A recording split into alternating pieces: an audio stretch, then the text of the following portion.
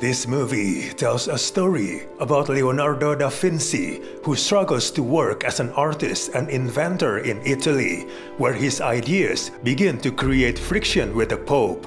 He then moves to France, where he has more freedom to work, experiment, and invent things with the support and friendship of the princess. First of all, this story is far from intriguing, and the movie doesn't necessarily know how to tell the story compellingly for any demographic. It's not funny or imaginative enough to keep children entertained, while the storytelling and characterization are too simplistic and educational for the adults.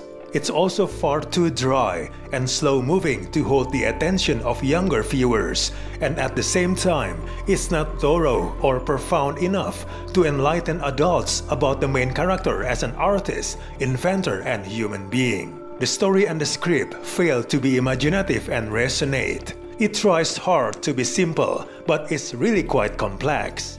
It jams in so much information that young viewers may be a bit overwhelmed. It delivers so much information so superficially that it's equally hard to keep up and care what happens. The story takes too much to bite, and each of these themes has its own background, implications, experiments, and hosts of characters. Skimming over all of it gives us too much and too little at the same time. There are too many scenes that feel dull, dry, clunky, and pedestrian none of the characters, not even Leonardo da Vinci, truly come to life. This is all made worse by how wooden and disinterested the voice acting ensemble comes across.